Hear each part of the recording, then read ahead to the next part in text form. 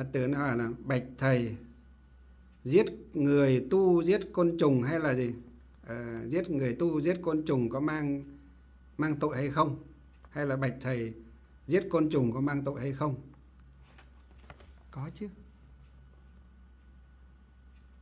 Có mang tội chứ. Côn trùng nó cũng là một mạng sống của một chúng sinh.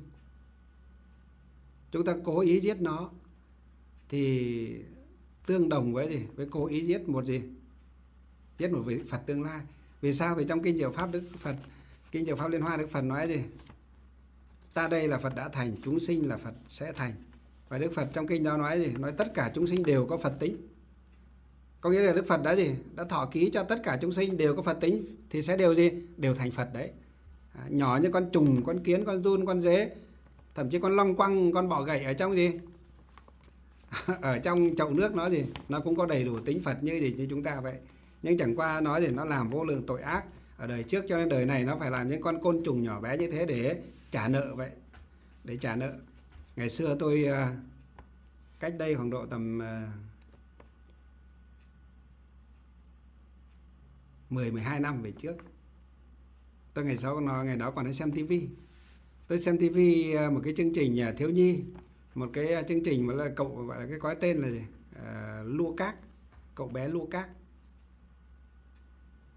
Mà tôi xem cái bộ phim đó tôi quả thật là bộ phim đó nó giáo dục trẻ con là theo về nhân quả, về đạo đức, về lối sống rất là gì? Rất là cao tôi xem mà thì tôi cảm nhận được mà tôi thì tôi khóc à, à, suốt cả cái bộ phim đó vì sao nó mình cảm nhận được cái gì cái sự à, sâu sắc về cách giáo dục trẻ em giáo dục con người phải biết hướng thiện là cái đó. Đại ý là câu câu chuyện nó nói rằng có một cái ờ, có một đứa trẻ. Một hôm thì ờ, bố mẹ chuẩn bị ờ, có công có việc đi thì đứa trẻ ở nhà đi chơi. Ở nhà chơi thì bắt đầu thì thường thường á trước đây á, thì ở ngoài vườn nhà nó có một cái tổ kiến có một tổ kiến. Thì cái đứa trẻ này rất là nghịch ngợm. Đứa trẻ rất là nghịch ngợm và đứa trẻ này là vì nó hay nghịch ở khi bố mẹ đi vắng cái, bắt đầu nó ra, nó chơi ở cái vườn vườn vườn cái sân sân sau nhà nó có cái vườn cỏ. Và có cái tổ kiến nó đùn lên đất cao. Với đứa trẻ nó thì vui vui thì thấy kiến nó, những con kiến nó nhỏ nhỏ nó đem, nó đào tổ, nó tha cùng đất bé bé xuống thì đứa trẻ đấy vui rồi. Nó lại lấy ngón tay gì nó xùi cả một cái đống gì, cái đống đất ờ, trên đỉnh tổ kiến xuống, nó trôi xuống. Thì lại thì lại để cho những con kiến thì con kiến thợ nó gì mang từng cái hoàn đất nhỏ ra, nó thấy rất là vui mà thậm chí nó chơi như thế, nó chán rồi mà cái nó lâu lâu nó chơi nhiều lần nó chán như vậy, thì bắt đầu nó gì? Nó đem cả nước ra nó gì? Nó đem cả nước ra nó đổ xuống đó và gì? Nó thấy những đàn kiến và nổi bồng bềnh ở trên đó và bơi lội nó gì? Nó cười và nó rất là vui. Một hôm, bố mẹ cậu bé lại có việc gì? Đi vắng và để quên cậu ấy ở nhà. Bảo nhà bảo nhà trong nhà rồi bảo nhà trong nhà. Thì bố mẹ có việc đi vắng ra ngoài một chút thế cậu bé bắt đầu cũng ra gì ra chơi ở cái tổ kiến đó. Nhưng không may hôm đấy là gì? cậu ta à, đang ngậm cái viên kẹo đang ngậm cái viên kẹo. Và cái câu chuyện đó là cậu ta đang ngậm viên kẹo và viên kẹo rơi xuống gì? Dưới cái à, cái cái à, tổ kiến. Ấy thế cậu ta mới lấy lên phủi phủi đi và thì cậu ta lại ăn tiếp. Nhưng không ngờ rằng á, cái cái đám kiến kia trong đó có một con kiến có, có trong cái, cái ổ kiến đó có rất nhiều loại kiến kiến thợ rồi kiến chúa rồi kiến uh, mẹ rồi kiến con rồi kiến uh, chiến binh rồi kiến phù thủy. À, nó có cả kiến phù thủy nữa. Và cái kiến cái đàn kiến phù thủy nó tìm cách để gì? Nó làm sao để biến cái gì? Cái cậu bé là thành con kiến. Để cho cậu bé biết cái cách cái cái cảnh khổ của con kiến của của nó của chúng tôi như thế nào. Cho nên nó làm nó răng một cái bẫy. Nó thấy cậu bé ra nó làm cái bẫy cái kiến phù thủy nó ra nó chỉ chú nó gì? Nó làm thì vừa cái lúc đó cái viên kẹo rơi xuống là con kiến phù thủy nó sang gì nó trì chú vào cái gì? Cái viên kẹo đó. Trong một khoảnh khắc rất ngắn thôi.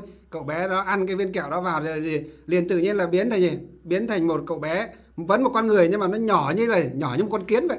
Thế là rơi tọt từ trên từ trên gì miệng ờ, hố xuống rể xuống thì hai con kiến. Và nó phải sống một cái cảnh gì?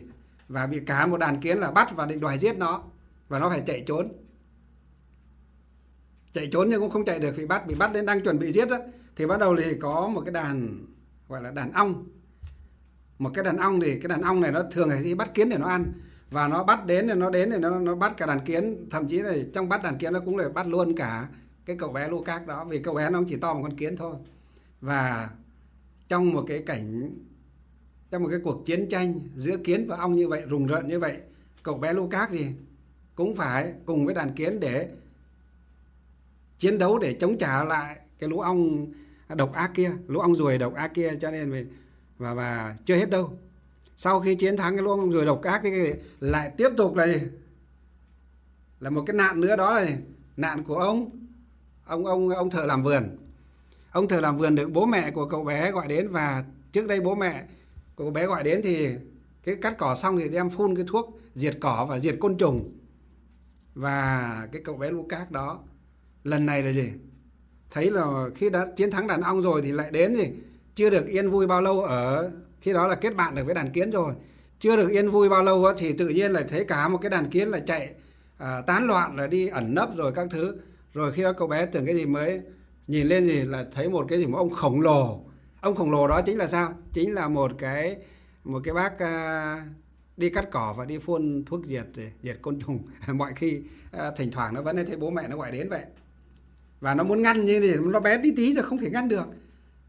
Và cuối cùng thì cả cái đàn ong kia cũng phải phải phối hợp nhau lại để không có gì bị cái đàn à, bị bị cái cái cái à, ông à, nông dân phụt, cái thuốc côn trùng kia là gì?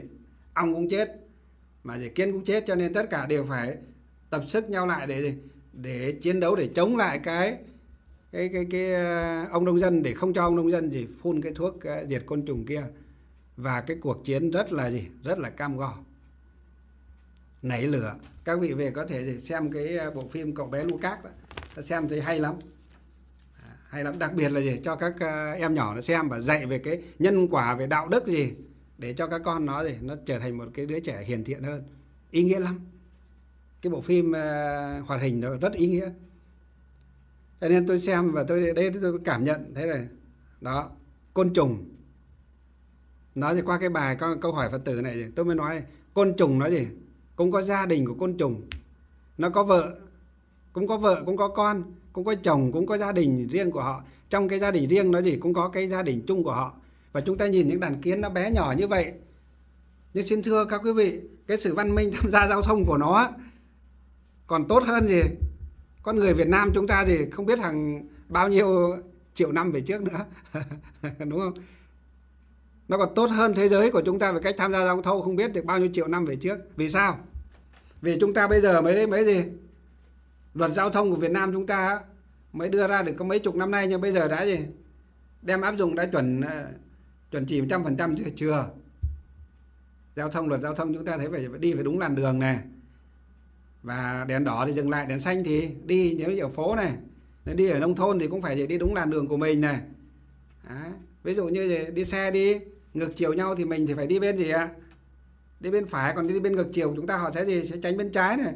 Nếu mà chúng ta không đúng thì sẽ hút vào nhau. Đấy là quy định của gì? Của luật giao thông như vậy. Nhưng chúng ta thấy con kiến. Nó đi kiếm ăn. Không biết bao nhiêu triệu năm nay rồi, nó đi kiếm ăn, nó gì? Nó đi theo hàng, theo lối. Kiến đi theo hàng, theo lối cũng vậy. Nó tha mồi, tha tha trứng, nó đi theo hàng, theo lối như vậy. Gặp nhau chúng ta thấy cái dâu dâu nó nó gì nó nó dòng dòng dòng vài cái. Đó chính là gì? Cái kiến thì nó giao tiếp bằng gì? Bằng dâu. Theo các nhà khoa học là kiến nó giao tiếp bằng gì? Bằng dâu và bằng nhiều cái sự cảm nhận của nó bằng dâu và bằng cái chân của nó. Thì giống như chúng ta ra hiệu có thể gì? giao tiếp với nhau bằng gì? Bằng lời nói bằng cử chỉ và bằng gì? Cái cử chỉ hành động trên thân thể của chúng ta ngôn ngữ và cử chỉ hành động của chúng ta. Đấy, cách giao tiếp để cho mọi người biết thì như vậy. Cho nên đây á hỏi là uh, giết côn trùng có tội hay không á thì tôi mới nói là hãy xem bộ phim đó thì chúng ta sẽ thấu hiểu được cái cuộc sống của côn trùng nó cũng phải gì? Cũng phải được trân trọng như thế nào. Và cậu bé đó sau khi mà gì? Cùng với đàn kiến và đàn ong đàn à, côn trùng đó chiến thắng được à, bảy ong độc rồi lại phải gì? Lại phải chiến thắng cả cả cái ông à, bác phun thuốc à, mình cứ nói nôm nào ông bác phun thuốc trừ sâu kia nữa. À, thì khi đó thì nó mới cái à, cái cái à, cái bác kiến phù thủy đó, nó mới nó mới đọc thần chú cho cậu bé này gì, lớn trở lại như đứa trẻ bình thường khác. Đấy. Cho nên ở đây thì câu trả lời của chúng tôi là cũng có gì? Cũng có tội đấy. Nhưng tất nhiên tội thì nó gì? Cũng sẽ à, không bằng cái tội giết người. Không bằng cái tội giết gì? Không bằng tội à, làm thân phật chảy máu hay là tội gì? Tội giết cha, giết mẹ, giết thầy hòa thượng, giết các vị thánh tăng, vân vân nhưng mà cũng có tội. Cho nên thôi sống cuộc đời này chúng ta đi. Trong kinh đức phật mới nói gì? Nếu mà xét về tội của một chúng sinh như thế giới này á, là có hình tướng á. Phật nói rằng cả bầu hư không này cũng không chưa hết được là như thế. Đấy, động chân động tay là gì? Là cảm có thể là có tội rồi. Thậm chí là khởi tâm suy nghĩ mà sai sai pháp á. Sai với luân thường đạo lý đã có tội rồi chứ đừng nói là khởi ra hành động nữa. Sang câu thứ ba có phật tử hỏi rằng à, bạch thầy, con gần đây đã gây ra một lỗi lầm lớn. Một cơ hội lớn của công ty bị đánh mất mà lại liên lụy đến mấy bạn đồng nghiệp, khiến tâm con không thể nào an được. Con rất muốn nói hết ra lỗi của mình, nhưng ở địa vị của con, bạn bè và đồng nghiệp luôn tin tưởng con. Con không đủ can đảm để nhận lỗi nếu nói ra, con sẽ mất tất cả công việc, niềm tin của bạn bè, vân vân. Con phải làm sao đây? Đã mấy năm nay, tìm hiểu về phật pháp mà hiện giờ con không thể nào bỏ tất cả để nhận lỗi. Con thấy hổ thẹn quá. Thưa thầy, liệu con có nên tiếp tục im lặng? Xin thầy khai thị cho con để con biết con phải làm gì ạ? Mấy năm rồi tâm không được an. Đó là gì? Là mình làm nó một cái điều lỗi lầm lớn mà không dám nhận lỗi với gì? Với mọi người. Phật tử này tôi chưa biết là phật tử này tạo ra một cái lỗi lầm gì. Nhưng mà nói là gì? Ở đây chỉ nói là đã gây ra một ờ, lỗi lầm lớn, một cơ hội lớn của công ty bị đánh mất và lại bị liên lụy tới đến mấy bạn đồng nghiệp, khiến cho tâm không thể nào được an. Nhưng mà thì vì có thể là địa vị cao cho nên thì không dám nhận lỗi. Trước thủ trưởng của mình, trước ban giám đốc và trước các đồng nghiệp của mình. Và phật tử là nếu mà nhận lỗi thì có thể sẽ mất việc và làm mất niềm tin với bạn bè là mất tất cả, vân vân. Cho nên cứ yên lặng như vậy. Những yên lặng như vậy mấy năm nay rồi nhưng trong lòng thì luôn cảm thấy là mình là người có lỗi và cảm thấy rất hổ thẹn. Không chỉ mấy năm đâu mà nếu như mà phải mình không dám dũng cảm có lỗi mà không dám gì dũng cảm để đứng lên để nhận lỗi ấy, thì không chỉ mấy năm mà gì nó còn theo đến suốt cuộc đời này. Không chỉ hết cuộc đời này mà nó còn tiếp tục là cái quả ở cuộc đời sau của mình là người học Phật chúng ta. Điều quan trọng Phật nói gì? Có lỗi thì phải biết ăn năn, sám hối để sửa đổi. Sám là sao? Sám nghĩa là bày ra những lỗi trước. Hối là sao? Hối tức là ăn năn, chừa cải thể nguyện, không tái phạm những gì? Những lần sau. Đó gọi là cách sám hối chân chính của nhà Phật. Người học Phật biết mình có lỗi mà không gì không sám hối biết mình có tội mà gì, mà coi như mình không có tội, thì chắc chắn không phải là người học Phật chân chính. Học Phật như vậy có 100 năm cũng chẳng hiểu được Phật, một ngàn năm không hiểu được Phật, một vạn năm cũng chẳng hiểu được Phật. Dẫu cho gì? Cho nhiều hơn nữa, thời gian. Vạn vạn năm sau cũng chẳng thể nào hiểu được Phật và thâm nhập được vào ngôi nhà của Đức Phật. Cho nên, nếu Phật tử này hỏi thì chỉ có biết khuyên là nên thẳng thắn nhìn vào cái lỗi lầm của mình. Lỗi của mình gây ra tới đâu? Mình sẵn sàng gì nhận và sửa tới đó. Mình là người thực sự có tài. Chỗ này không dùng, chỗ khác sẽ dùng.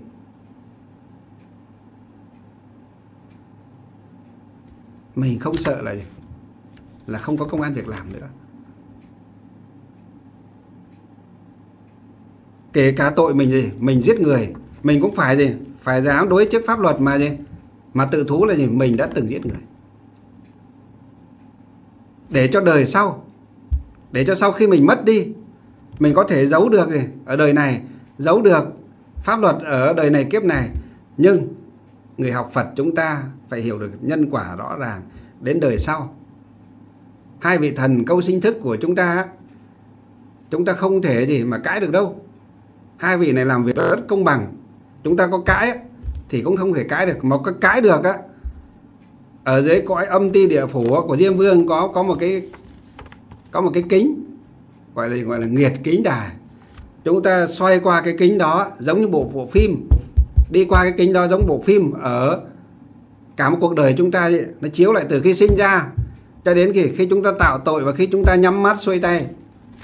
Không có cách chi để cho chúng ta giấu được nghiệt đài kính của thập điện diêm vương. Cho nên là cái điều tốt nhất là gì? nên bày tỏ để ăn năn sám hối. Nếu mà ban lãnh đạo, công ty mà họ còn gì? Họ còn tin tưởng, họ còn dùng mình thì mình gì? Tận tâm, tận lực để để làm, để chuộc lại cái lỗi. Còn nếu họ không tin, không dùng mình mình cũng sẵn sàng phải chấp nhận ra đi và mình tìm một công việc mới, tìm một chỗ làm mới. Đấy mới là gì? Một con người quân tử đấy mới là con người gì? Con người học phật. Đấy mới là một đệ tử phật chân chính. Biết ăn năn, biết sửa những lỗi lầm của mình để trở thành một con người gì? Một con người tốt hơn, chuẩn bị cho mình một tương lai, một hành trang để trở thành một gì? Một vị bồ tát. Hành bồ tát đạo, hành bồ tát đạo để cứu độ chúng sinh gì?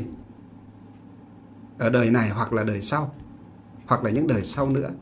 Còn mình không biết nhận lỗi luôn luôn như vậy, thì đời này mình đau khổ, đời sau mình càng đau khổ hơn. Và không bao giờ mình tiến tu được trên con đường cầu đạo, học đạo của của mình.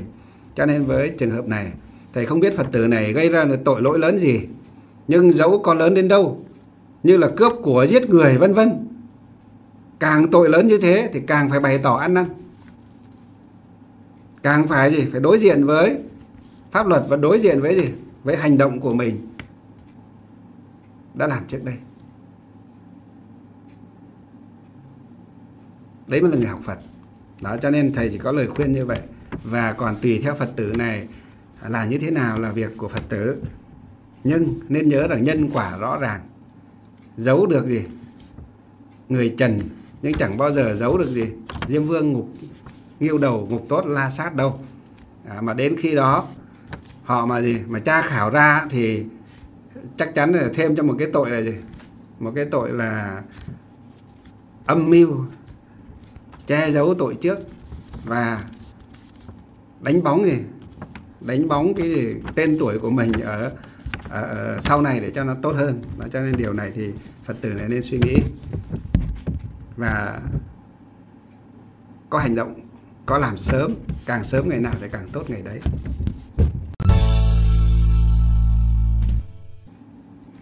Nam mô Bản sư Thích Ca Mâu Ni Phật. Kính bạch à, sư thầy bố thí cho con hỏi. Nhà con vừa có người mất, đó là anh trai mẹ con. Trước khi bác xảy ra chuyện thì trong nhà có người mơ thấy ông bà, à, tức là bố mẹ của bác con, về à, đứng đầu giường. Mọi người thường bảo nếu trong nhà ông bà quá cố đã về mà đứng đầu giường, tức là đón người trong nhà đi. Những trường hợp như vậy thường rất đúng. Nhưng con học giáo lý trong nhà Phật thì biết điều này là không thế. Kính bạch thầy và nhà chùa giải đáp vấn đề này giúp con ạ. Con hay con học giáo lý của nhà Phật chưa đến nơi đến chốn. À, mong thầy hoan hỷ giải đáp giúp con. A Di Đà Phật. Ở trong kinh Địa Tạng cũng nói rồi. Cái khi mà cái người à, bệnh sắp mất hoặc là người Phật tử chúng ta tu hành ấy, một đời cầu à, sinh Tây Phương cực lạc thế giới. Mà thấy người thân đã quá cố rồi mà đến để gọi cho chúng ta đi hoặc là dắt chúng ta đi hoặc là mời chúng ta đi chúng ta chưa có đi. Chúng ta đi như vậy không phải là đi gặp người thân chúng ta đâu mà đó là gì? Oan gia trái chủ đấy. Kinh địa tạng nói đó chính là oan gia trái chủ nó hiện là người thân của chúng ta gì để về để để lừa mình. Vào cái chồng thì nó mới gì nó mới báo án được chứ. Oan gia trái chủ nó là lừa đấy. như vậy thì nó mới báo án được. Cho nên đấy là cái quan điểm của kinh địa tạng. Cho nên người niệm phật, khi ra đi nhìn thấy người thân hoặc là người bạn bè hoặc là bố mẹ hoặc là ông bà hoặc là họ hàng cô bác đã mất rồi, thì nhất định chúng ta thì không đi theo. Ừ, nhất định không đi theo đấy là người tu còn chúng ta còn người không tu nếu mà trước khi mất mà họ nói rằng thấy người thân đến rồi bảo là gì?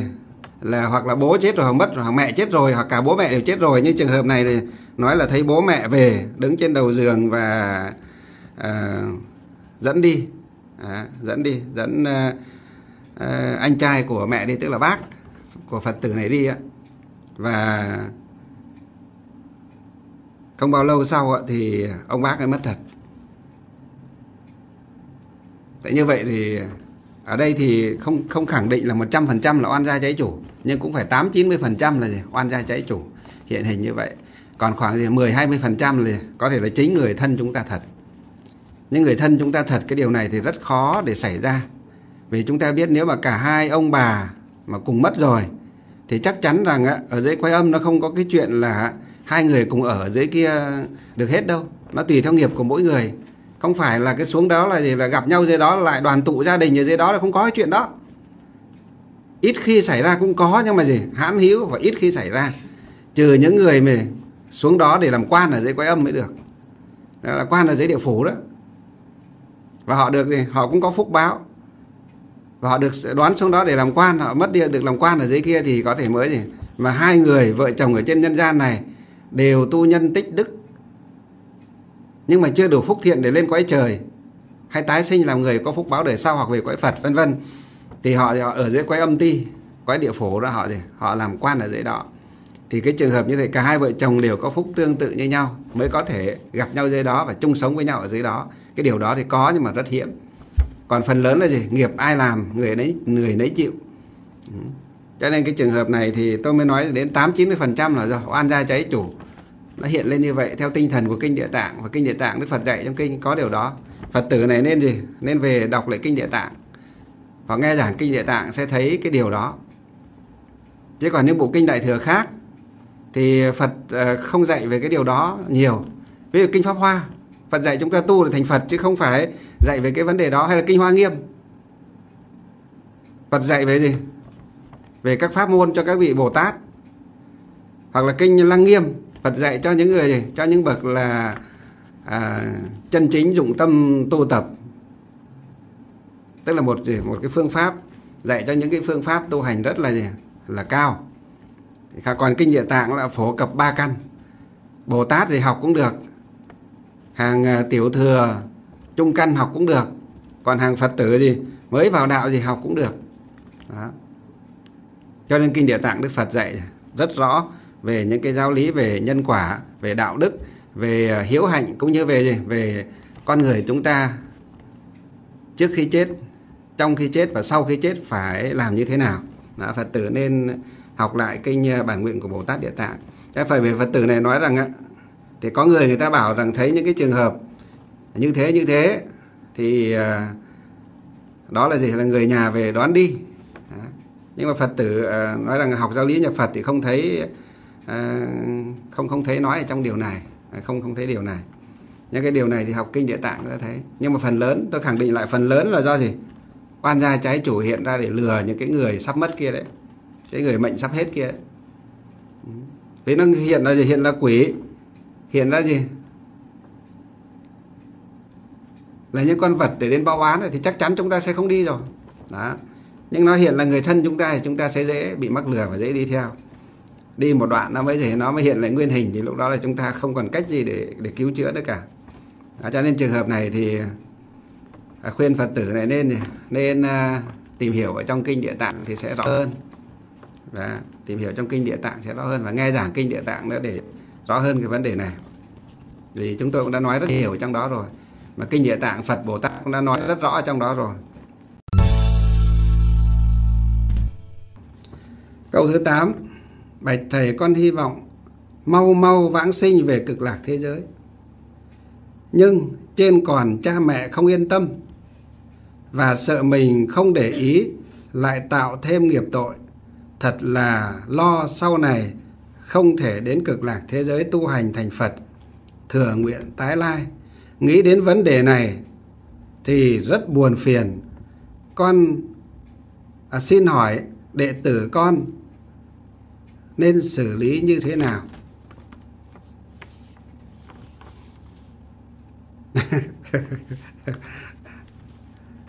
Tu hành mà chỉ hy vọng mau mau vãng sinh cực lạc thế giới.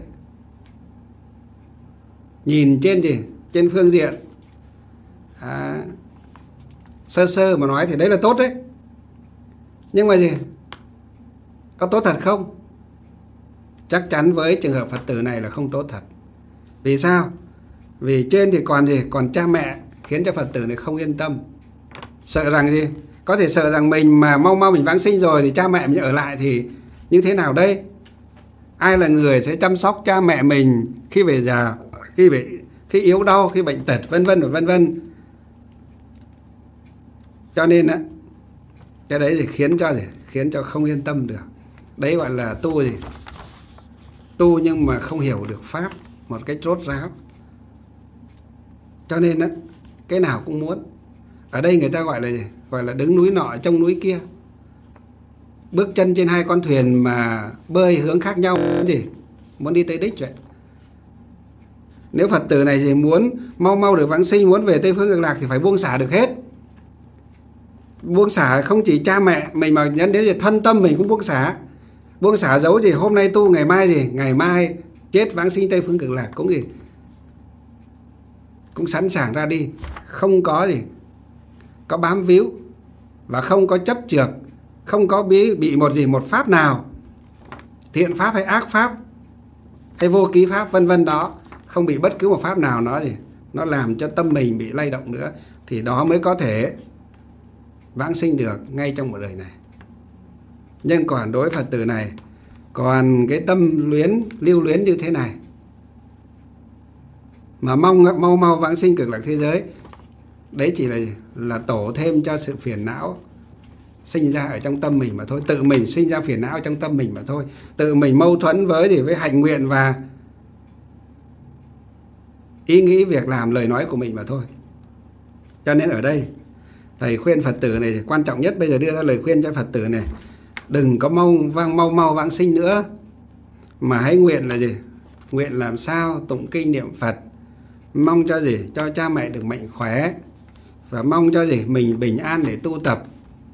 Tới khi xả bỏ báo thân bất cứ lúc nào, thì nguyện a di đà phật quán âm thế chí thế gì? Thế đến để tiếp rước thần thức của con, khiến cho gì? Con một đời được đới nghiệp vãng sinh tây phương cực lạc thế giới, vĩnh viễn thoát ly sinh tử chúng khổ.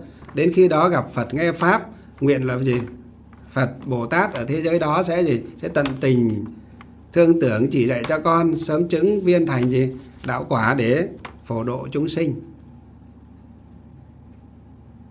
Hãy lo tốt trách nhiệm, bổn phận của một gì? Một người đệ tử phật tại gia. Đó là hầu hạ, cung phụng phụng dưỡng cho gì? Cho cha mẹ cho tốt. Làm tròn cái bổn phận của một người con. Hiếu thảo thế gian này, đó chính là gì? Người tu hành chân chính khuyên cha mẹ dùng phương tiện tốt đẹp phương tiện thiện xảo để khuyên cho cha mẹ cũng biết tín Phật, biết tùng kinh, biết niệm Phật và cùng phát nguyện vãng sinh. Đó mới là gì? Người đệ tử Phật tốt. Đó mới là gì? Còn hơn là cái việc gì? Thường nguyện tái lai ở trong một kiếp sau này khi mà chúng ta chưa biết chúng ta gì có được vãng sinh ở kiếp sau hay không mà lại đã nguyện kiếp sau nữa thường nguyện tái lai để tận độ chúng sinh rồi. Hãy gì? Hãy độ tận chúng sinh ở trong trong tâm mình, ngay trong đời này, ngay trong kiếp này. Cực lạc ở đâu? Cực lạc ở ngay tại ngôi nhà của bạn đấy vậy. Cha mẹ bạn chính là a di đà phật, là thích ca mâu ni phật vậy. Hãy lo để gì? Lo để cung phụng cho tốt. Và bạn cũng chính là chính là a di đà phật và chính là thích ca mâu ni phật vậy. Hoặc là nếu bạn ấy thấp hơn một bậc thì bạn chính là quán âm bồ tát, bạn chính là thế chí bồ tát, là địa tạng bồ tát vậy, vân vân không phải tìm ở đâu xa tìm ngay ở trong gì? Trong chính ngôi nhà của mình ở trong chính bản tâm của mình. Đừng có mong vãng sinh tây phương cực lạc thế giới khi mà gì? Mà mọi sự mâu thuẫn ở trong tâm chúng ta không thể giải quyết được. Rồi dần dần ấy, tu như thế sẽ lạc vào đường tà đấy không phải đơn giản đâu. Đó, cho nên ở đây thầy khuyên phật tử này gì? Hãy cứ bình tâm mà tu. Hàng ngày tu xong chúng ta cũng gì, cũng phát nguyện vãng sinh tây phương cực lạc, giữ tâm đó không biến đổi. Gọi là gì? Tin sâu nguyện tiết hành chuyên. Chỉ cần thế thôi. Lo hiếu thảo báo đáp. Công ơn dưỡng dục sinh thành của cha mẹ cho tốt. Khuyên dùng phương tiện để tiện xảo khéo léo để khuyên cha mẹ cùng tụng kinh, cùng niệm phật, cùng tu thiện. Cho tốt. Và một ngày nào đó khi đầy đủ công đức viên mãn đó, phật bồ tát sẽ sắp xếp cho chúng ta phật bồ tát sẽ là người sắp xếp cho chúng ta vãng sinh hay không vãng sinh. Chúng ta có mong một đời vãng sinh, nhưng nhân tu chúng ta không có.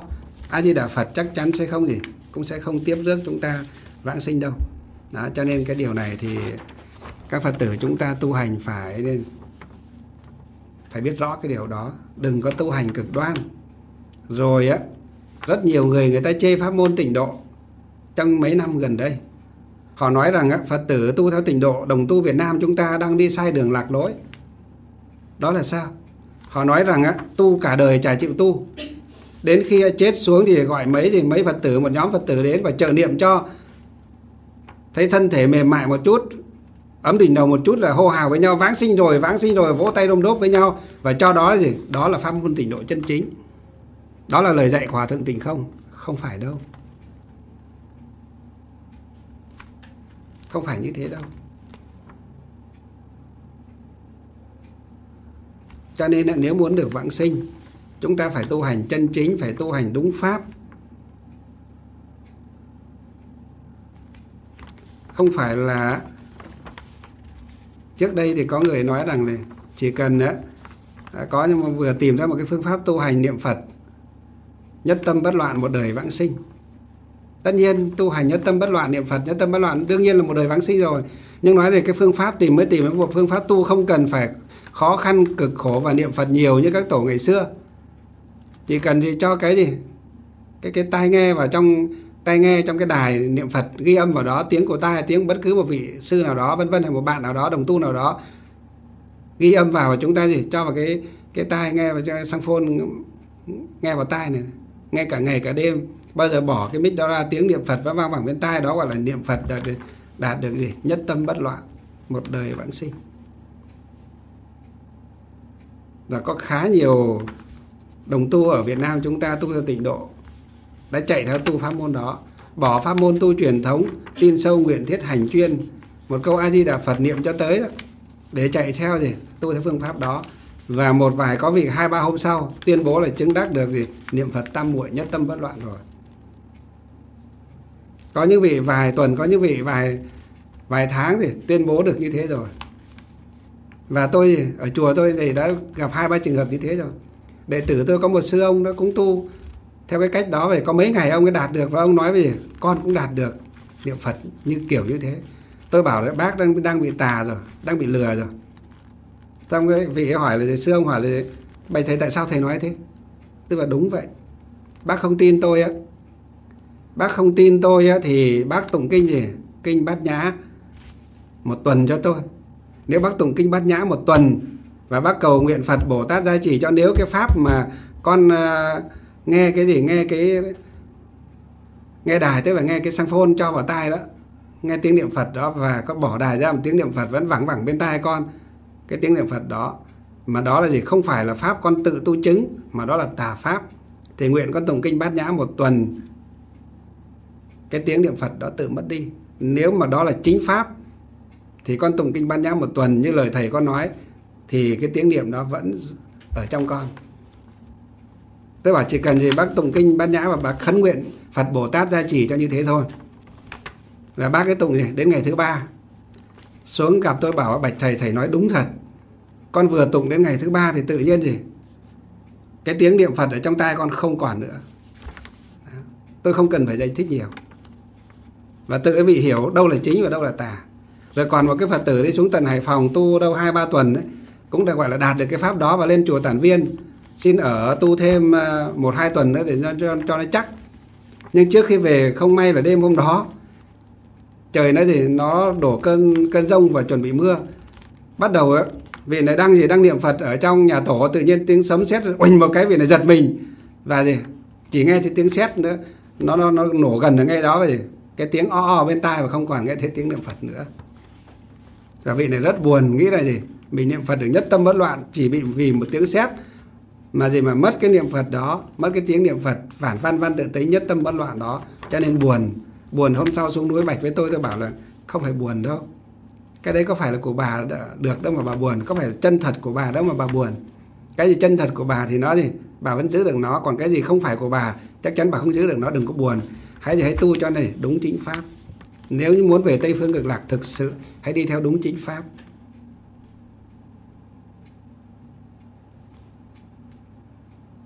Kể cả đây tôi nói hôm nay nói như thế này nếu mà các phật tử đồng tu Việt Nam chúng ta còn ai đang tu theo cái pháp đó thì nên xem lại mình. Nếu muốn về Tây Phương thực sự nên xem lại pháp tu của mình. Và quý thầy nào mà đang đi truyền giảng cái này pháp này cho là chính pháp á, cũng nên xem lại mình không có, đến khi nhắm mắt xuôi tay. Diêm Vương ngục tốt nó đến, nó lôi đi sành sạch, nó bảo gì? Ông tu sai pháp mà ông còn gì? Còn lừa rất vô số chúng sinh. Thì lúc đó, chẳng ai cứu được mình đâu. Mười phương chư Phật có hiện ra trước mặt mình có muốn cứu mình cũng chẳng cứu được đâu. Đó cho nên các Phật tử chúng ta phải gì? Phải rất phải cẩn trọng khi mà tu tập. Kể cả pháp môn tịnh độ cũng phải gì cẩn trọng. Một câu hỏi nữa, con bạch thầy. Con nghe câu tướng chuyển theo tâm. Vậy nói, chúng ta có thể dùng tướng mạo của mình để xem xét và đối chiếu với công phu tu hành.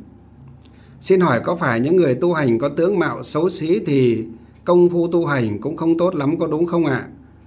cũng bởi vì điều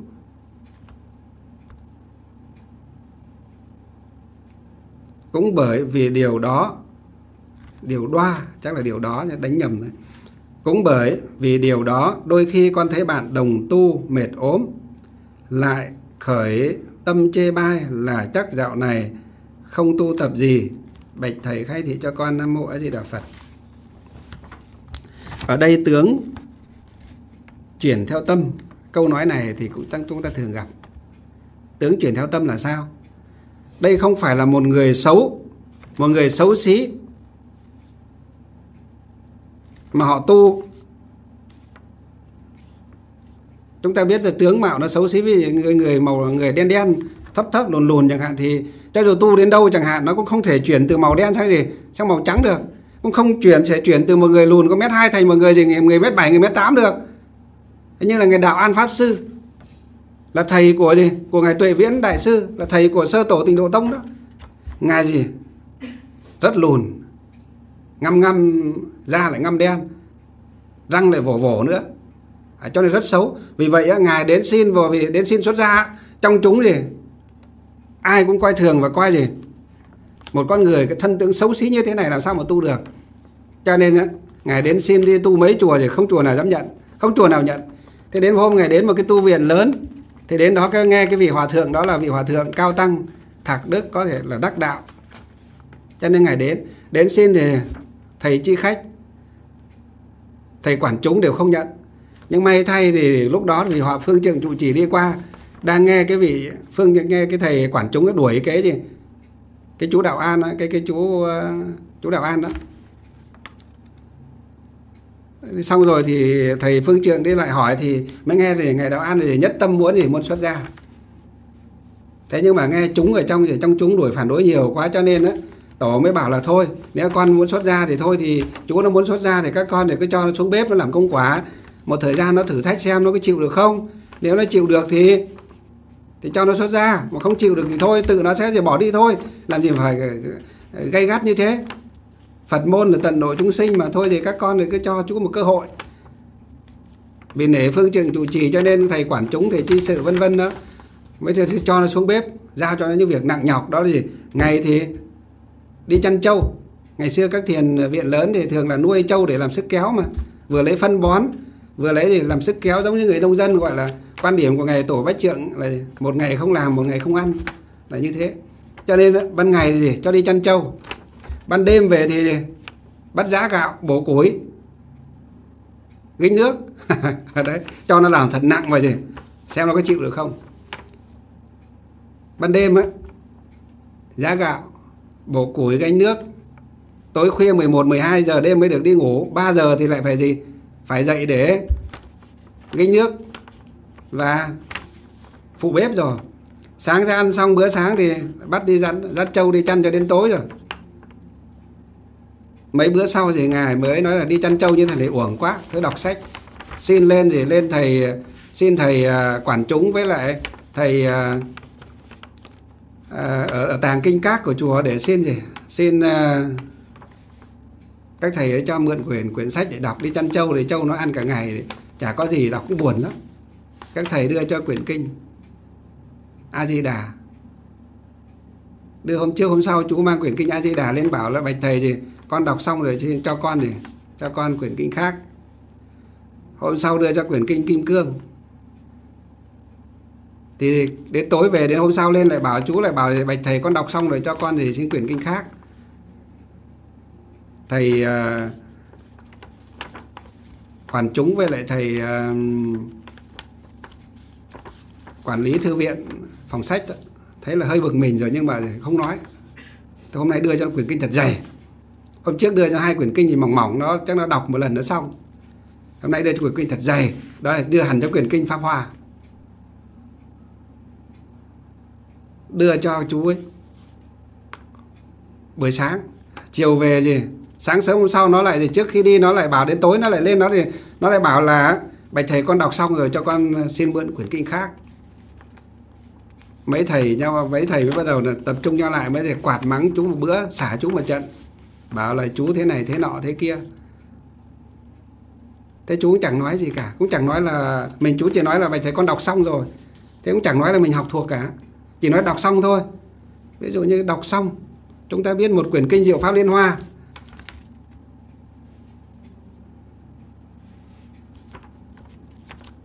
Bảy quyển. Dài như thế này. Mà chú đi tu, đi đi chăn trâu mà để có một ngày mà đọc xong. Đọc xong rồi không không không phải đọc xong hết một lượt, mà đọc gì? Đọc thuộc lòng luôn, các quý vị. Thuộc lòng luôn trong gì? Trong có một ngày thôi mà học thuộc lòng kinh diệu pháp liên hoa, sáng cầm quyển kinh, chiều đã trả lại các thầy tức quá mắng cho một trận chú ấy vậy nhưng mà chú ấy không nói là mình học thuộc lòng, chỉ nói là con đọc đọc xong rồi thôi thì các thầy mắng thì mình chú ấy chỉ gì chỉ a di đà phật và Thế con xin sám hối thì nếu làm phiền gì các quý thầy thì con không dám làm phiền nữa. Và từ đó thì các thầy không đưa cho quyển kinh nào nữa. Và thôi, không đưa quyển kinh thì thôi, chú có đọc đi, đọc lại gì. Mấy quyển kinh A Di Đà, kinh Kim Cương và kinh Pháp Hoa mà hôm trước đọc thuộc rồi một lần đọc sách là thuộc ngay. Hôm sau thì tuy không có sách nhưng mà ngày cứ đọc đi đọc lại như vậy. Một hôm có một vị à, thiền sư người gốc Ấn đến thăm vị hòa thượng đó và nhìn thấy gì đứa trẻ lùa đàn trâu về chuồng một cái biết ngay đây là gì? Đây là một pháp khí, bậc long tượng ở trong gì? Trong Phật giáo. Người này sẽ làm hưng danh, làm rạng danh cho gì? Cho Phật giáo Trung Hoa ở đời sau đấy, trong một thời gian sau đấy. Và ngài đó chính là ngài Phật Đồ Trừng ngài vào tiếp xúc nói chuyện với à, hòa thượng phương trượng trụ trì xong mới là kiểu như hỏi tỷ tê, hỏi rằng, bạch thầy gì? Dạo này ở trong chúng thì có người mới xuất gia không? Con là dạo này bên con bí người quá chả có người chấp lao phục dịch. Các à, mấy đệ tử lớn lớn thì nó đi ở chùa riêng hết rồi cha có chú nào mới mới đến cả.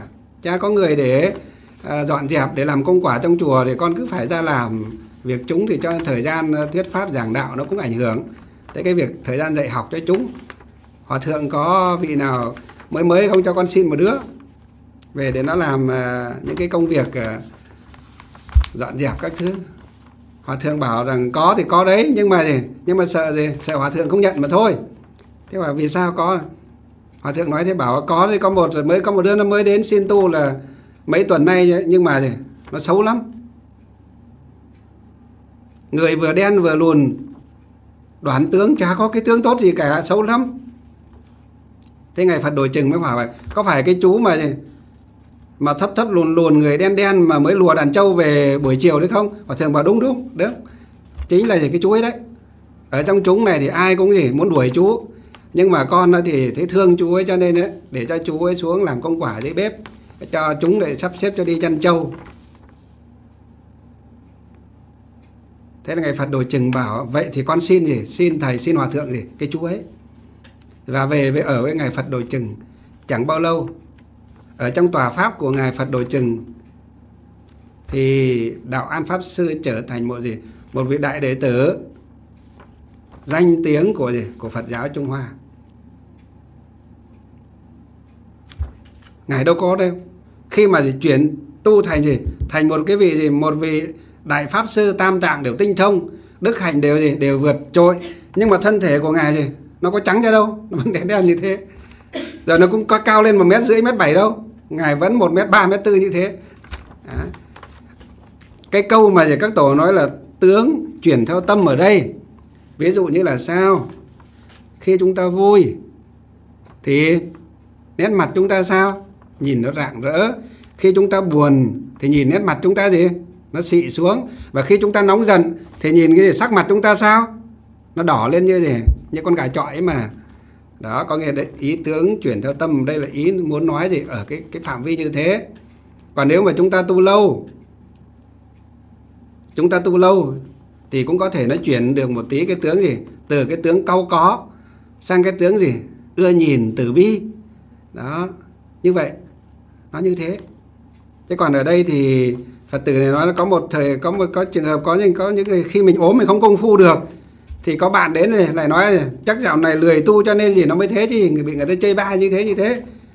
Cái đấy thì có gì mà buồn đâu. Khi chúng ta già, da chúng ta chắc chắn gì sẽ bị đổi mồi hoặc bị gì, bị nhăn nheo. Giống như đức phật thích ca. Khi về già, ngài cũng đâu có đẹp như gì có hảo tướng như khi còn 30, 40, 50 nữa đâu.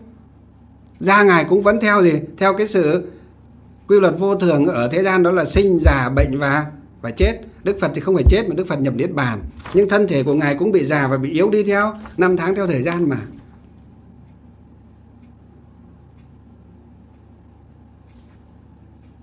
Cho nên ở đây đã khi mà gì? Đã là quy luật thì nó không từ một ai ví dụ cái quy luật sinh già bệnh chết, đó là quy luật.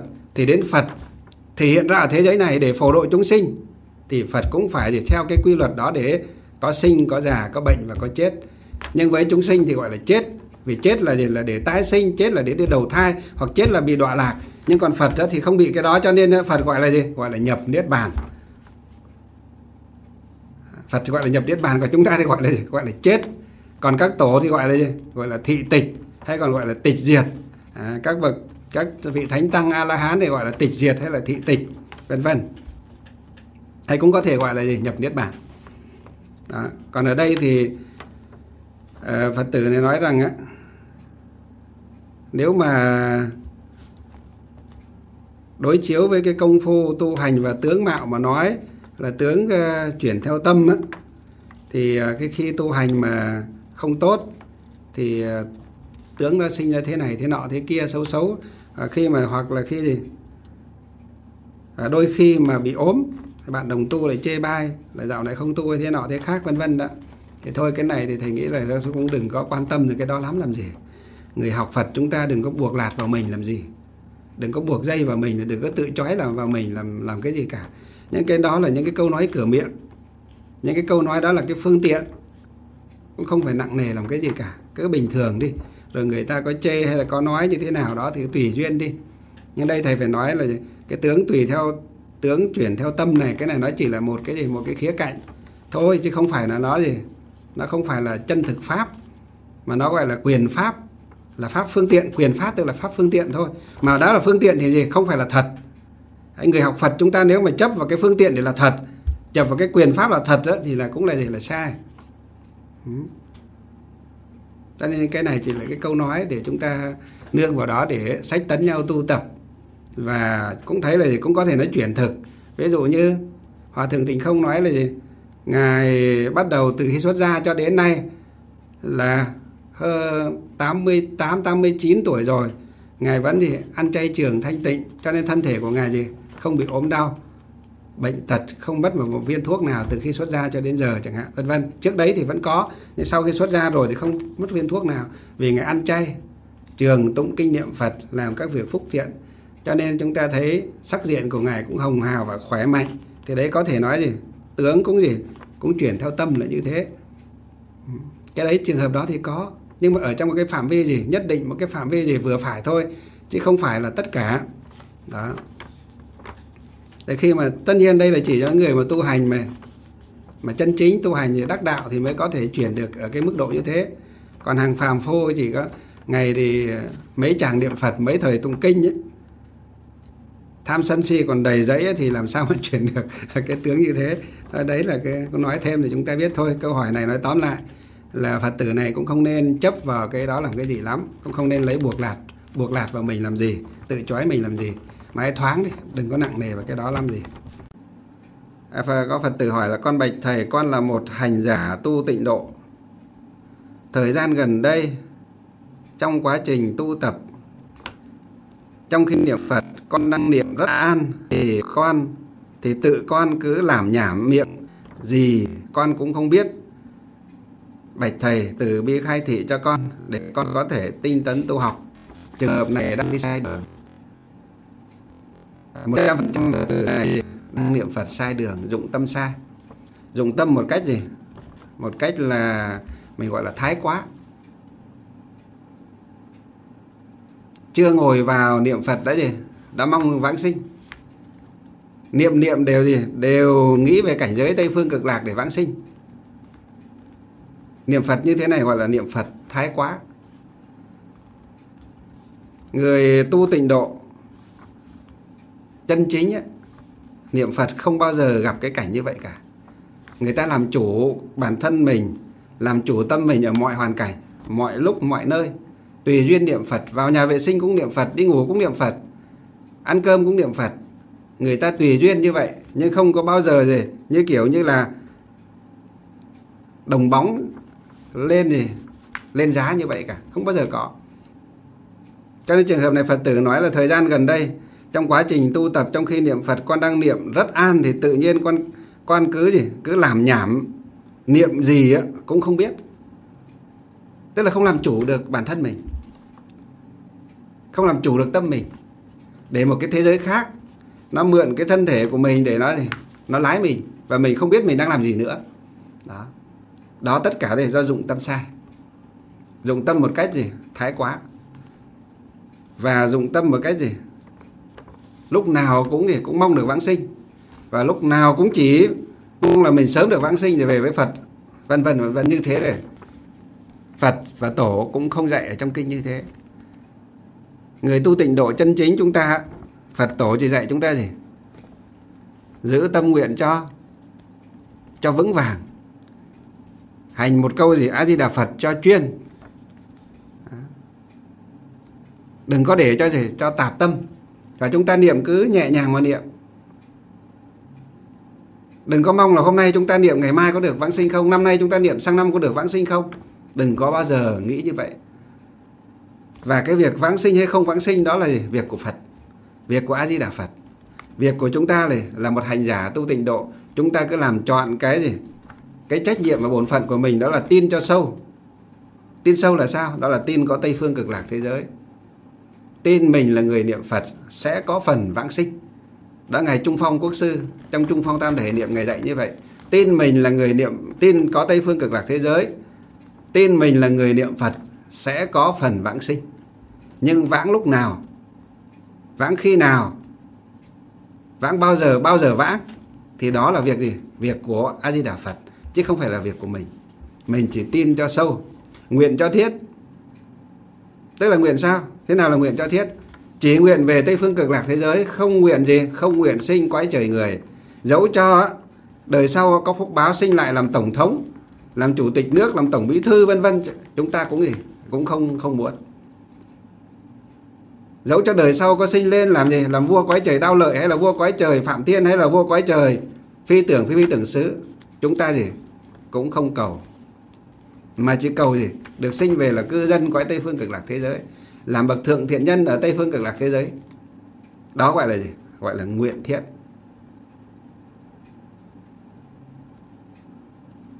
Hành cho chuyên tức là sao? Một câu a di đà phật giữ ở trong tâm mình cho nó gì? Cho nó vững, cho nó chắc. Có thể vẫn học các bộ kinh khác, vẫn tụng các bộ kinh khác. Nhưng chúng ta gì? Chốt lại, tụng kinh gì thì tụng kinh. Cuối cùng vẫn dùng một câu a di đà phật cái quan điểm của của tôi ấy thì khác với hòa thượng tịnh không ở chỗ thì hòa thượng tịnh không bảo là gì chỉ cần tụng một bộ kinh vô lượng thọ, không cần tụng một bộ kinh nào khác, không cần học một bộ kinh nào khác. Nhưng quan điểm thì tôi thì khác. Chúng ta có thể gì hợp bộ kinh nào, có duyên với bộ kinh nào thì chúng ta cứ đọc tụng, cứ nghiên cứu thêm. Nhưng một câu a di đà phật, đó là cái đích mà chúng ta gì phải đi tới. Đã đi tới rồi thì trụ ở trong đó. Thì chúng ta biết là lục tổ của tịnh độ tông trung hoa đó là ngài vĩnh minh diên thọ đại sư. Ngài là một vị thiền sư đã đại triệt đại ngộ. Sau khi triệt ngộ rồi á, chúng ta thấy ngài chuyên tụng kinh diệu pháp liên hoa và niệm nam mô a di đà phật và a di đà phật. Tổ có tụng kinh vô lượng thọ đâu? Tổ cũng chẳng tụng kinh a di đà, mà tổ gì? Chuyên tụng kinh diệu pháp liên hoa. Và chúng ta biết đó gì đó chính là hóa thân của a di đà phật. Nếu mà chỉ tụng kinh vô lượng thọ mới được vãng sinh, mới đảm bảo vãng sinh thì chắc chắn là gì? Tổ đã gì? Lục tổ. Vĩnh minh diên thọ ngài chỉ tụng kinh vô lượng thọ rồi. Cho nên ở đây, các tổ, các ngài thì hiện ra ở trên đời này các ngài chỉ dạy cho mỗi người mỗi người một duyên. Ví dụ như ngày xưa à, có một vị tổ cũng gì, của tỉnh độ tông trung hoa. Các ngài chỉ giảng kinh a di đà thôi, và chỉ khuyên mọi người tu tập tụng kinh a di đà thôi. Cả đời của ngài gì, hơn 300 gì, hơn 300 lần giảng kinh a di đà. Hơn 300 lần giảng kinh a di đà, và không giảng kinh gì khác. Cả đời ngài chỉ giảng kinh a di đà, và khuyên người ta tụng kinh a di đà nhưng có những tổ thì là gì, khuyên người ta gì, mọi hạnh đều gì, đều phải làm. Mọi hạnh đều phải làm. Bố thí cúng giảng phóng sinh, tu phúc, học vững gì, giáo lý, học vững giới luật, học cho gì, tinh thông giới luật, và vững vàng về giáo lý của Phật để để làm kim chỉ nam cho vấn đề tu tập. Nhưng chung quy lại, học gì thì học tu gì thì tu. Vẫn một câu a di đà phật là quan trọng nhất. Đó. Thì cho nên quan điểm của tôi gì hơi khác một chút. Nói là hơi khác nhưng thực tế không phải khác đâu. Có thể khoảng độ tầm 20, 25, 30 năm nữa nếu như mà gì tôi còn gì thọ mạng dài dài ở thế gian. Đến về phần cuối đời tôi tôi cũng chỉ chuyên một bộ bộ kinh chuyên một bộ kinh. Và khi đó có thể tôi cái gì tôi cũng chỉ khuyên mọi người là chuyên một bộ kinh. Chúng ta biết xem về lịch sử của hòa thượng tịnh không chúng ta thấy trước đây ngày học và giảng rất nhiều các bộ kinh. Ngày giảng cả kinh Koran, giảng cả kinh Tân ước, cả kinh Cựu ước. Kinh Koran là của đạo gì? Của đạo hồi. Tân ước Cựu ước là của đạo gì? Tin lành, của đạo Thiên Chúa. Rồi ngài giảng cả gì? Cả kinh Lăng Nghiêm, chuyên về gì? Về thiền. Ngài giảng cả kinh Kim Cương, chuyên về thiền thậm chí ngày giảng cả gì cả kinh Hoa Nghiêm. Ngày giảng tứ thập nhị chương giảng bát đại nhân giác vân vân. Đó là thời còn trẻ ngày giảng rất nhiều như vậy. Thời khoảng 3, 4, 5, 60 ngày giảng rất nhiều như vậy. 70, 80 ngày giảng rất nhiều kinh như vậy. Cho đến gì từ 80 tuổi trở lên ngài mới gì khoảng hơn chục năm nay ngài mới gì chuyên vô lượng thọ.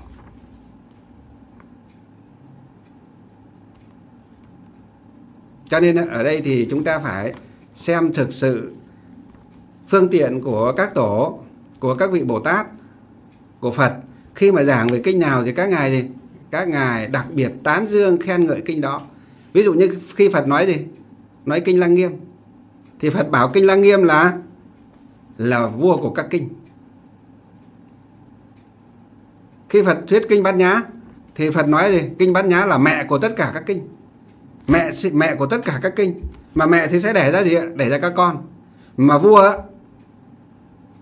thì còn ai hơn trong nhân dân thì một đất nước, trong một đất nước thì vua là trên hết, còn ai hơn nữa không? Không. Nhưng khi thuyết kinh diệu pháp liên hoa, đức phật cũng nói thì kinh diệu pháp liên hoa là là vua của các kinh. Trong tất cả các kinh thì kinh diệu pháp là trên hết. Trong tất cả con sông thì biển là lớn hết. Kinh này cũng như vậy. Tức là kinh diệu pháp liên hoa cũng gì ví như biển. Còn các kinh khác ví như con sông vậy chúng ta nghĩ là gì? Vậy phật nói vọng ngữ không, phật không bao giờ nói vọng ngữ. Phật về phương tiện, mở đường dẫn lối cho chúng sinh, tùy theo căn cơ của chúng sinh, tùy theo từng pháp hội, tùy theo cái nhân duyên, trình độ của thính chúng mà ngài giảng bộ kinh đó. Khi giảng bộ kinh nào thì ngài đều đặc biệt tán dương khen ngợi bộ kinh đó ví dụ như bây giờ hòa thượng tỷ không, ngài gì, chuyên giảng về vô lượng thọ, chắc chắn ngài sẽ gì? Sẽ chỉ tán dương và khen ngợi về vô lượng thọ. Và đặt vô lượng thọ là là trên hết. Còn tôi bây giờ tôi đang giảng kinh địa tạng. Chắc chắn tôi gì? Tôi chỉ tán dương, khen ngợi kinh địa tạng. Và tôi gì? Tôi cho kinh giảng và tôi đặt kinh địa tạng gì? Là trên hết. Giống như thời xưa Phật còn tại thế. Khi ngài giảng kinh địa tạng, thì ngài cũng gì? Đặt cái vị trí kinh địa tạng là là tối cao. Đây chính là là phương tiện thiện xảo của chư Phật vậy chư Bồ Tát vậy chư lịch đại tổ sư vậy. Cho nên nếu chúng ta học mà chúng ta chấp vào á, lời dạy của các tổ của các hòa thượng chúng ta nghe mà không hiểu ý của các ngài dạy á không hiểu được cái lý và cái giáo nghĩa sâu sắc sâu xa ở trong đó chúng ta sẽ là người bị vướng giống như cá vướng vào lưới vậy. Đó cho nên ở đây, phật tử này chắc chắn là do dụng tâm một cái gì? Thái quá.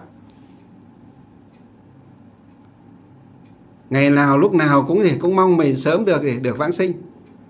Cho nên cũng sẽ bị gì? Cái họa giống như người tu các pháp môn khác, không có khác vậy. Cho nên người niệm Phật chúng ta cũng phải giữ cho tâm bình khí hòa là như thế.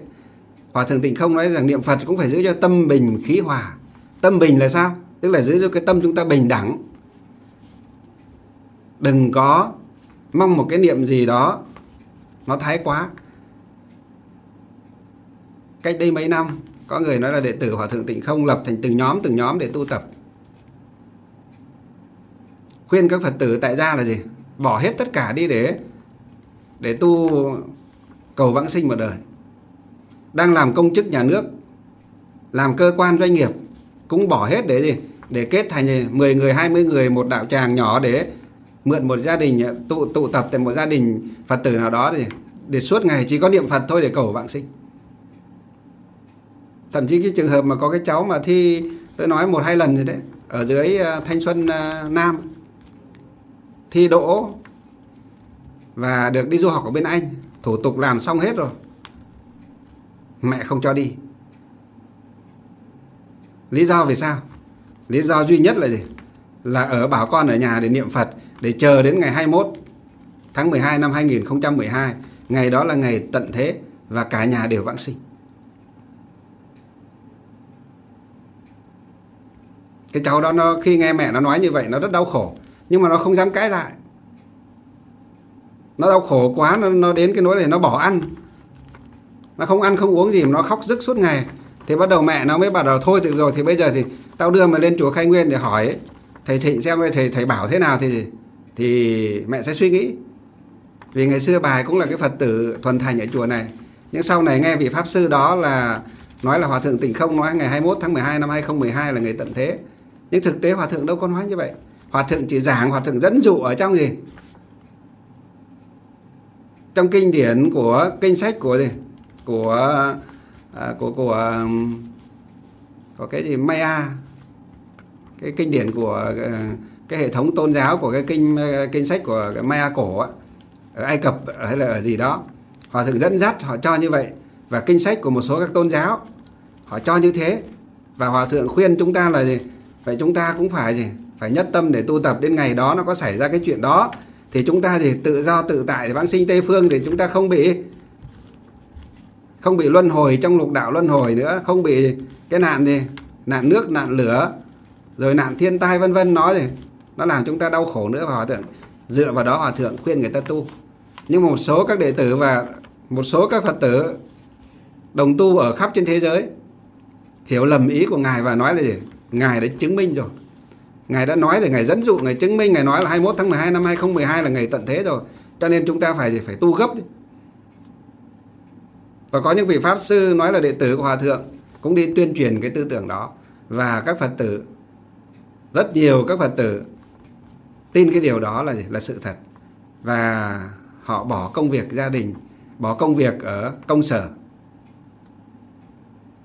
có những người là gì đang làm cán bộ công chức nhà nước cũng khá cao làm lên đến trưởng phó phòng của một bộ ban ngành trung ương rồi mà vẫn gì vẫn tin cái điều đó là sự thật và xin nghỉ để niệm Phật cho qua ngày đó nếu mà không xảy ra ngày tận thế thì mới đi làm.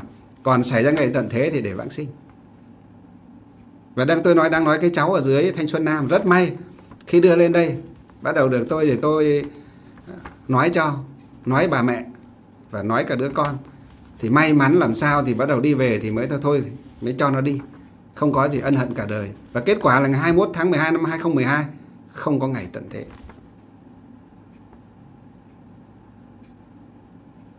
Đó cho nên chúng ta tu tập, chúng ta phải phải hiểu đâu là những lời phương tiện của các tổ dạy, của các hòa thượng dạy. Đâu là cái lời chân thật, đâu là cái lời dẫn dụ, và đâu là cái lời nói thẳng. Lời dẫn dụ thì chỉ là gì cái minh chứng để ví dụ thôi.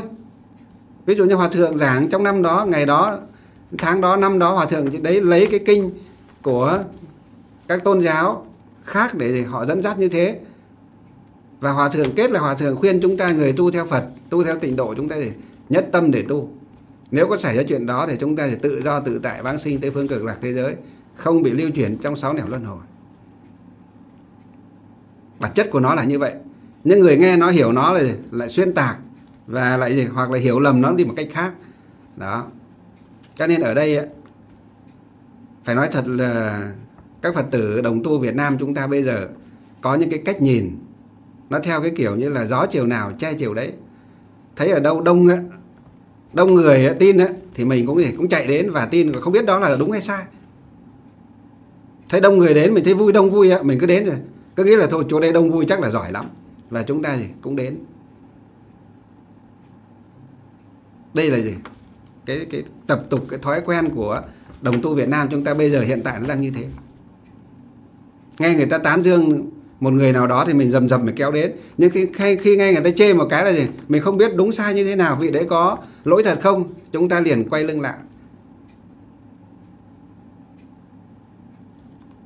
Nghe người ta khen một cái mình không biết là có đúng hay không? Vị này có đạo hạnh có giỏi thật hay không? Cứ ở mầm người này đồn người nọ người nọ thổi người kia và cứ thế kéo đến. Khi nghe một người chê một cái chúng ta thì lại ầm mầm bỏ đi với nhau và không biết vị đó có lỗi thật hay không. Đấy là cái tình trạng bây giờ đồng tu Việt Nam chúng ta có rất nhiều rất nhiều những cái người như thế. Cho nên ở đây, tôi nghĩ chắc chắn Phật tử này gì nghe pháp hòa thượng tịnh không? Mà khởi tâm chuyên tu tịnh độ như vậy, Phật tử này nói gì? Con là một hành giả tu tịnh độ mà. Cho nên tôi nghĩ chắc chắn vị này đã nghe pháp hòa thượng tịnh không, mà nghe rất nhiều pháp hòa thượng tịnh không. Nhưng ở thời điểm này tôi dám chắc chắn là vị này đang gì? Đang hiểu lầm những lời giảng những bài giảng của hòa thượng tịnh không? Cho nên đó, mới gì? Mới dụng tâm chuyên tu đến cái mức gì? Như vậy. Và kết quả vị này đang gì? Đang đi sai đường.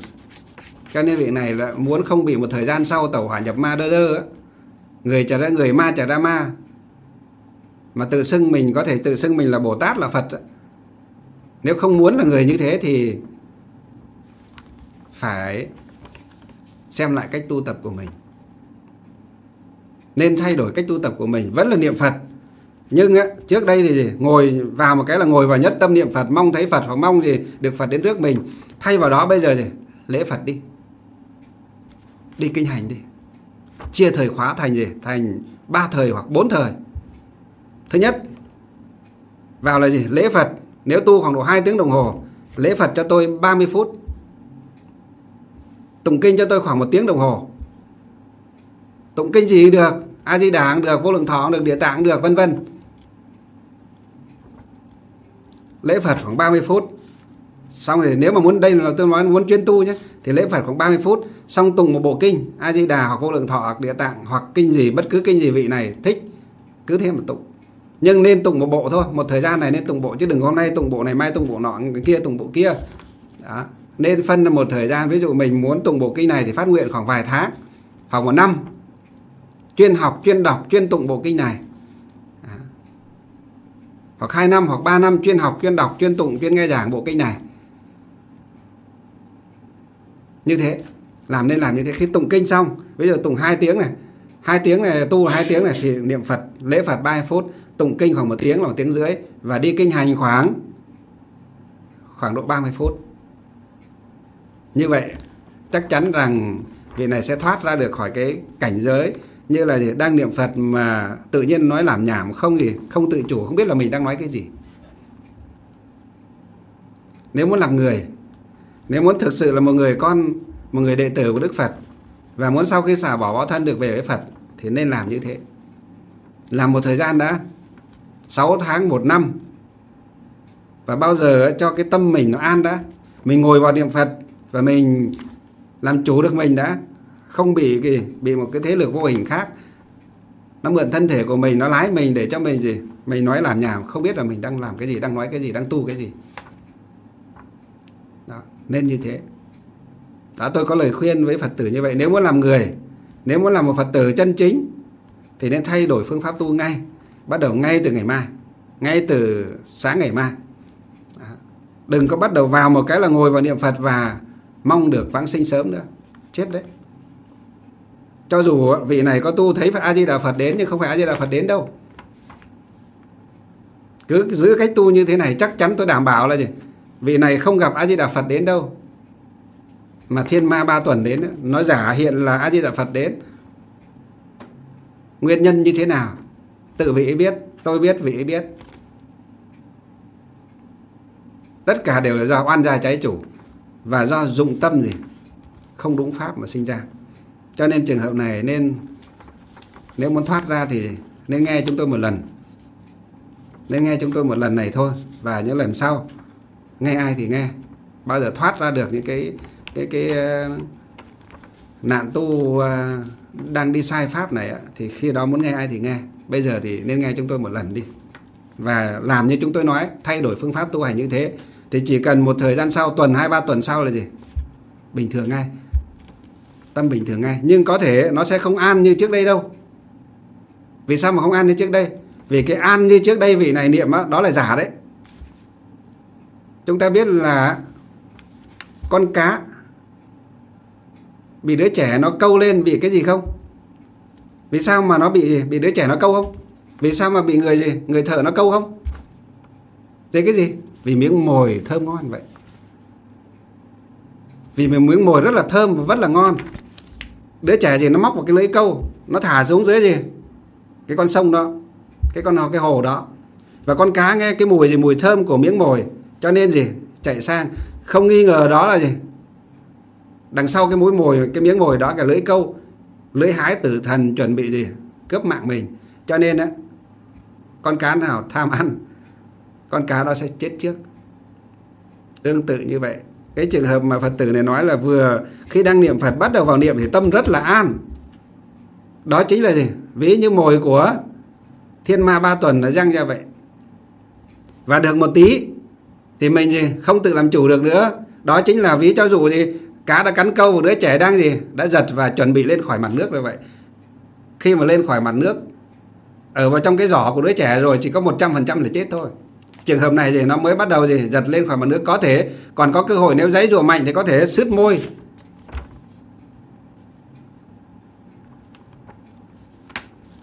Sức má một tí. Nhưng mà còn có cơ hội sống. Tôi nói như vậy không biết phật tử này có hiểu không? Đó, cho nên, bây giờ thay đổi phương pháp tu chính là gì? Để sám hối lại cái phương pháp tu của mình, sai của mình, dụng tâm sai của mình trước đây, thì còn có thể cứu được. Bằng không á, chỉ một thời gian nữa thôi. Chuẩn bị tinh thần mà gì? Chuẩn bị tinh thần mà lúc thì xưng là Phật, lúc xưng là Bồ Tát, mà lúc thì khóc, lúc thì cười, và có thể lúc thì đi lang thang và dần dần cho đến gì? Cho đến mất trí thật sự và lẩn thẩn lỡ thơ, người ta cho vào trong bệnh viện tâm thần thường tín hoặc là bạch mai hoặc là ba thá gì đó và chuẩn bị bốn tấm dài, hai tấm ngắn và chôn cái tấm thân xuống mấy mét đất và còn quan trọng nhất thần thức thì vào trong đường quỷ thần vậy. Tôi nói hơi đau một chút. Là vì sao? Vì có những trường hợp tôi phải nói đau như vậy. Chứ tôi không phải là gì? Tôi không phải là lúc nào tôi cũng gì cũng nhẹ nhàng, cũng ngọt ngào với các quý vị đâu. Đặc biệt là với những người đi sai đường tôi rất là hay nói đau như thế. Còn nghe được hay không nghe được thì tùy duyên đi. Tôi cũng chẳng mất cái gì cả mà tôi cũng chẳng được cái gì cả. Nếu vì mà tu đúng á, thì vì được được lợi ích. Cho nên thì tôi nói như